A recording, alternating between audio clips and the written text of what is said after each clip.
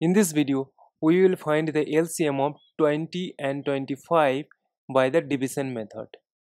So, we will try to divide them by the prime numbers. As 2 divides one of the numbers, so we can divide by 2.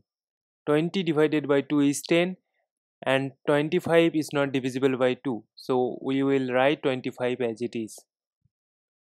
Again see that 2 divides one of the numbers. So, we can go for 2 and as 10 divided by 2 is 5 so we have 5 here and 25 is not divisible by 2 so we will write 25 as it is. Now see that only 5 can divide 5 and 25 so we will go for the prime number 5 5 divided by 5 is 1 and 25 divided by 5 is 5 and uh, now we can go for 5 and we get 1 comma 1 and the moment we get 1 comma 1 we need to stop.